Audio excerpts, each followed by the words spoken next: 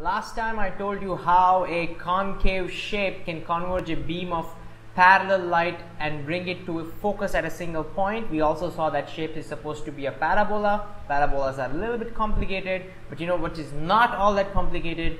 That's a sphere or a circle. So a paraboloid, if you take a very tiny section of a paraboloid, it becomes a it becomes spherical. That's exactly what we told you last time. And so today we're going to deal with these spherical concave mirrors. All right is I'm going to start with a center over here. This is going to be the center of my sphere. And here is my sphere. I'm going to start going that. That's the entire sphere. Now I don't want the entire sphere. I want just, just a part of the sphere. And there we have it. So we now have a spherical part, a part which is a, uh, something which is a part of a sphere. And all I need to do now is silver this guy. This part, this center of that sphere is what we're going to call as pole. I'm going to draw a line that passes through the pole and the center of curvature. I'm going to call this as the principal axis. And do you know why I love spherical surfaces? The reason I love them is because it's very easy to draw normals. See, usually if you want to draw a normal to a curve, say for example, I told you I want to draw a normal at this point, if I told you that, Usually it would be a little bit of a pain in the neck because we'll first have to draw a tangent and then draw a perpendicular to that tangent. But when it comes to spheres, we don't have to do that because spheres have an amazing property.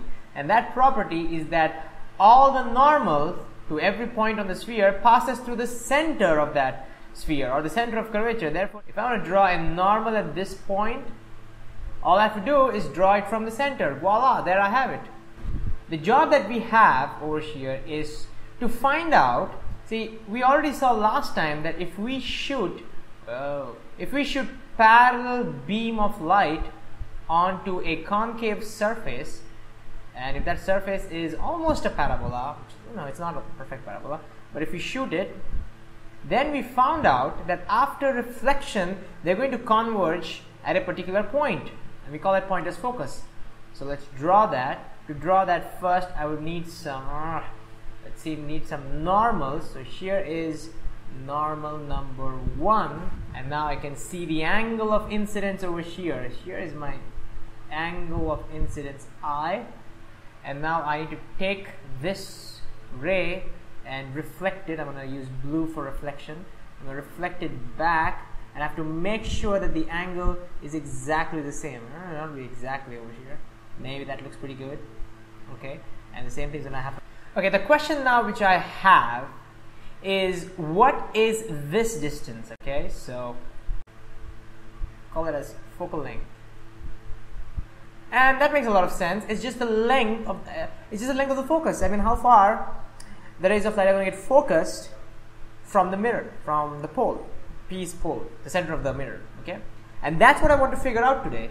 How far does it get does it get focused and what that thing might depend upon is how much curvature we have. So it might depend upon the radius of curvature. This radius, it must have something to do with the radius. I mean, you can imagine as the radius became bigger and bigger and bigger, the, the mirror becomes more and more flat and you would expect this point of focus to shift towards the right.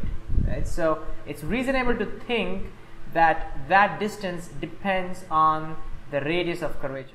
I want to find out what is the relationship between r and the focal length and we're going to call f for the focal length. Well, how do I do that? Well, actually, it turns out it's very simple.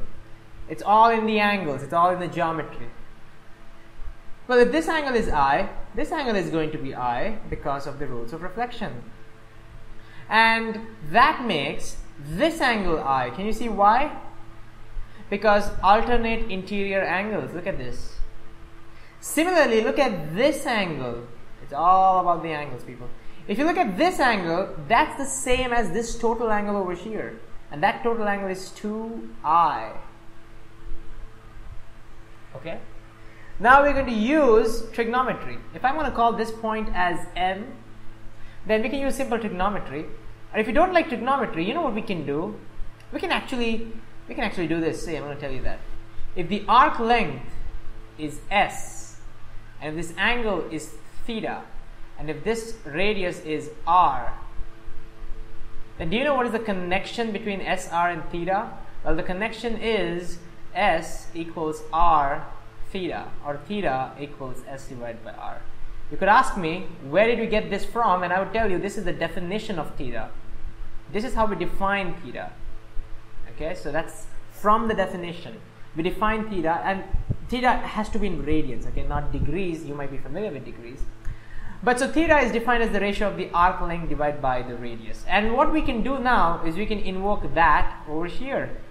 So we can say over here 2i, so I'm running out of space over here, so let me just draw it over here, okay. I'm just going to write that over here. So it's a very simple proof. See, I can say 2i over here, that is the angle 2i, must be equal to arc length mp, that is the arc length, divided by this distance, which is just the focal length f. But guess what I is? I can be written as the arc length, so I can write this as 2 times arc length divided by PC, which is just the radius of curvature, r. And therefore, this is MP divided by F, and there we have it.